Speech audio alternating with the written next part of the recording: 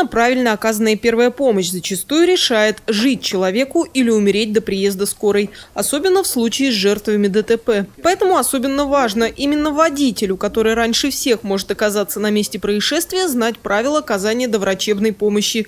Во вторник в Центре медицины катастроф эта тема обсуждалась за круглым столом с участием руководителей и преподавателей автошкол.